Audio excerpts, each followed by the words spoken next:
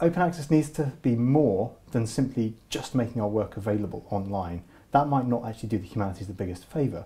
We need to think more about public dissemination functions, the value of the humanities through communication and public civic education, and integrate it into a programme there that is not just about bunging stuff online and thinking that this will be valued in its own way.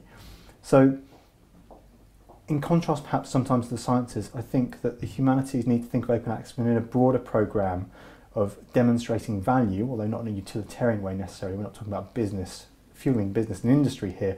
More about what do we want to achieve from our research? Is it about a broader educated public who value human culture, art, and practices? And if so, how do we encourage them to engage with humanities research? Open access is one part of that, it's not the be all and end all.